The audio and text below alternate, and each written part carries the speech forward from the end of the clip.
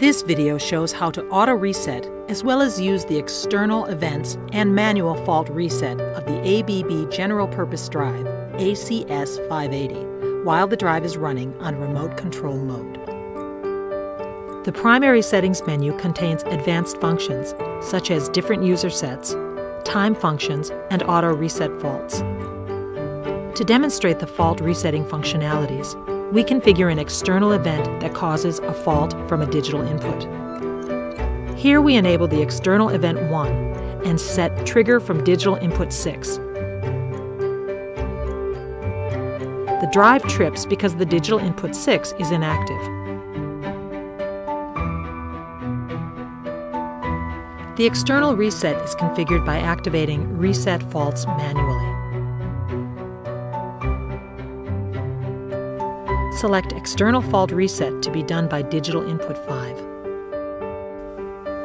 In our configuration, the loss of the Digital Input 6 signal caused a fault.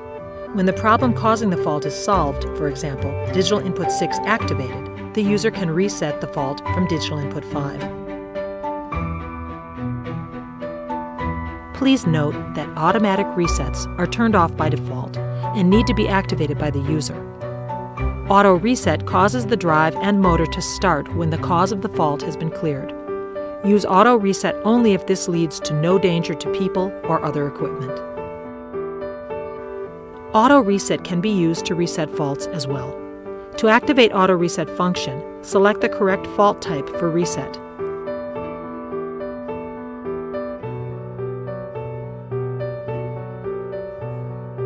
After this, set the waiting time between reset attempts, maximum number of attempts, and the time window for reset trials.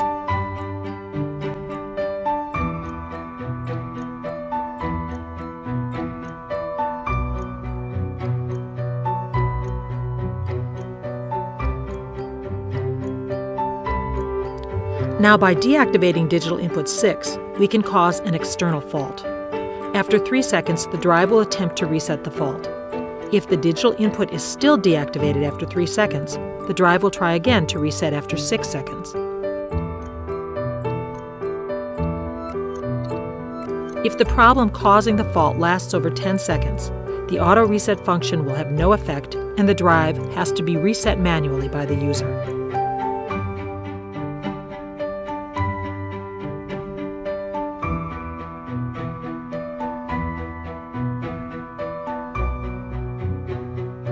The auto reset has been configured and the drive is ready to be used. Thank you for watching. For more information, please visit our website